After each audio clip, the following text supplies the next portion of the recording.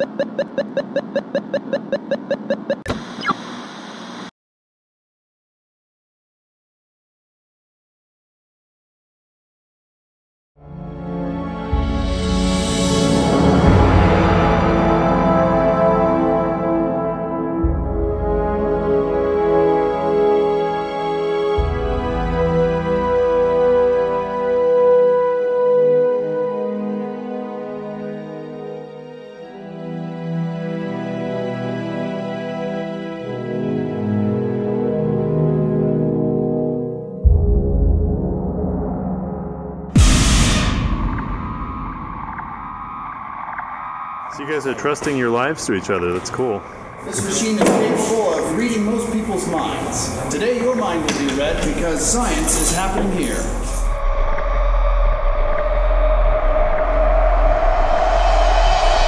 We're a group of rat scientists that has built this Tesla coil to exhibit the brilliant mind of Dr. Nikolai Tesla.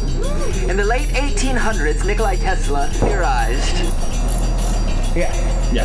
that power could be transmitted Danger up, we're hot. through the ionosphere, and you could set up transmitters and receivers and receive free energy from the air. Ah, look at that. We want to further the ideas of Nikolai Tesla. We have to swap secondaries. I want to run it and get it tuned. And I want you to stand right there while we run it. So we have an experiment to conduct. This is my favorite part. High voltage coming from that generator. I'm gonna die, am I? No, you won't die. A capacitor generating 1.39 million volts at 400,000 cycles a second.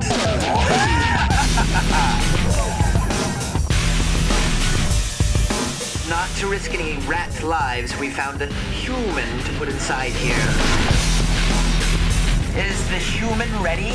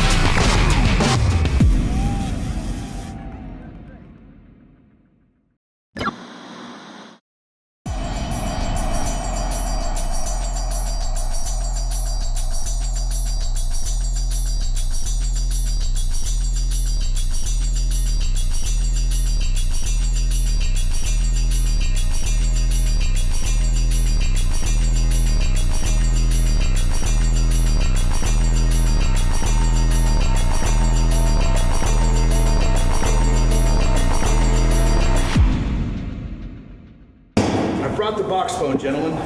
It's time to uh, make a call to the president and let him know that we're about to fire the silicon control rectifier. Are we ready to activate and energize? Negative. Negative. We are no go for launch. Copy that. I'll put the phone away.